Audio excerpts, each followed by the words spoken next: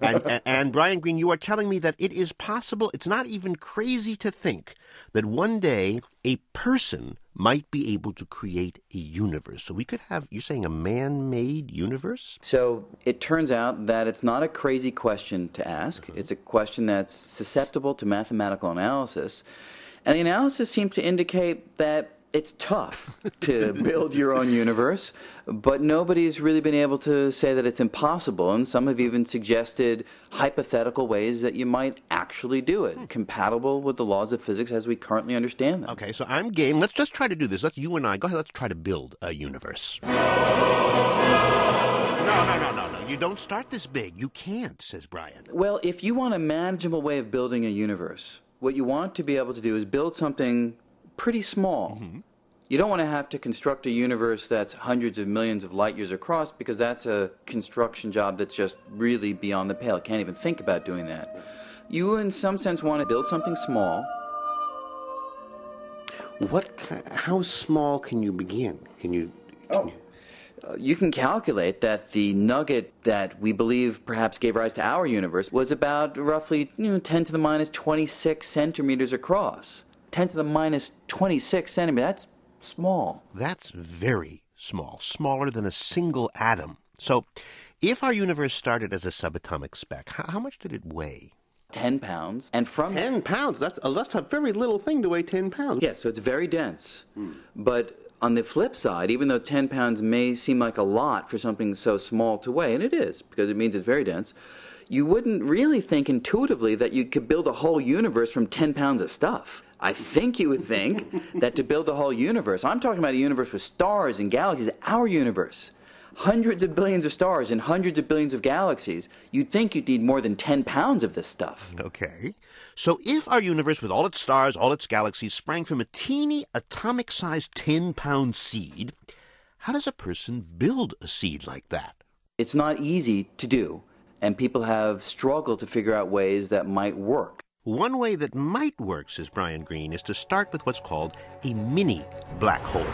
Now, we can all imagine uh, the big black holes. Black holes are these gigantic, hugely massive astrophysical objects where if you get too close, you can't escape. You fall down the funnel. But it turns out that black holes can be quite small. They don't have to be big.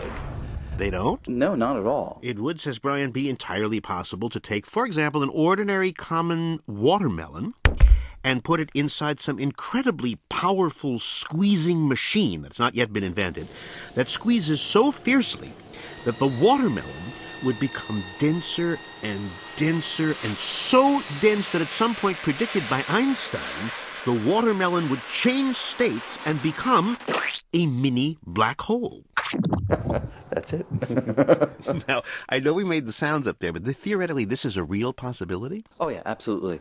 You give me any object, and if I squeeze it sufficiently small, then according to the classical laws of general relativity, if you make it small enough, it will be a tiny. So, how does a tiny black hole expand? It then explodes roughly speaking.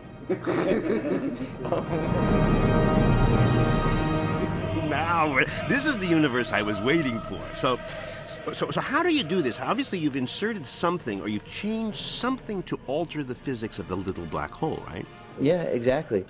And that physics has to do with a strange feature of gravity that none of us have ever experienced, but the math shows us is true, and observations of space seem to confirm, and that is that gravity can actually be not only attractive, it can only pull things together, it can also be repulsive. It can push things apart. Push things apart. So, so you put something into the little black hole that made it push outwards because everything on the inside is repulsed. I'm not quite sure what that means. Repulsed. It's what you would think. It's that they would have a repulsion. Mm-hmm. they would instead of wanting to come together, they would be driven to move apart. And this force exists in nature. The repulsive side, there's actually direct observational support for. It. So it is bigger. So this force, what it does, is it creates space. So much space that it can turn a little black hole into a universe. Because the repulsive side of gravity is so powerful that it actually injects energy from gravity itself into the expanding space. So from that point of view, all you need is the seed, and then gravity takes over and does the rest of the work. And right now, there are scientists at Ben Gurion University in Israel, Yamagata University in Japan, Stanford University in California, who are trying to manufacture first a seed, a mini black hole, and into that seed one day they hope to place a trigger to release this repulsive force and so create, unbelievable as it may seem, the first man made universe. If you can build this little seed, this little nugget, in just the right way, it will, on its own, start to expand, grow faster and faster and faster, beginning tiny and sprouting into a gigantic universe.